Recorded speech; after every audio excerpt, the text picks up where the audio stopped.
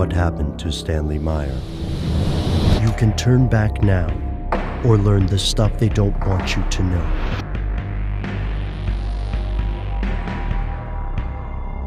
Here are the facts. As of 2012, there were more than 1 billion cars on the planet, and they're in virtually every country on Earth. The vast majority of these vehicles are powered by fossil fuels, and at some point, the fuel will run out.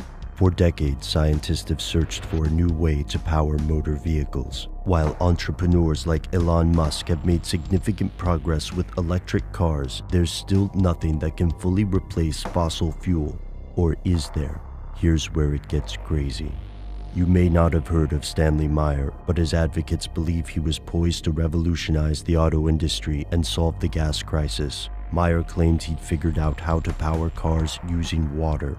This water fuel cell, of which Meyer patented several components, supposedly used an electrical resonance to split water into hydrogen and oxygen, burning the hydrogen to create energy. On an Ohio TV station, Meyer exhibited a water powered dune buggy. The inventor stated that this vehicle would need only 22 gallons of water to travel from Los Angeles to New York. Some experts, such as Philip Ball, took issue with many of Meyer's claims. First, Meyer's fuel cell, if it worked, would use a much smaller amount of energy than believed possible, even violating the laws of thermodynamics. Second, if this technology works, then where is it? Oddly enough, Meyer isn't the only person claiming to have invented a water powered car. In the 1930s, a man named C.H. Garrett claimed to invent an electrolytic carburetor, and claims of water powered vehicles still crop up today. Inventors in Pakistan, Sri Lanka, Thailand, Japan, and more have gone public with similar inventions. To date, most of these inventors have either been sued or closed down their companies. To the skeptic, this proves a simple premise you can't break the laws of thermodynamics. But there's another wrinkle to the story of Stan Meyer.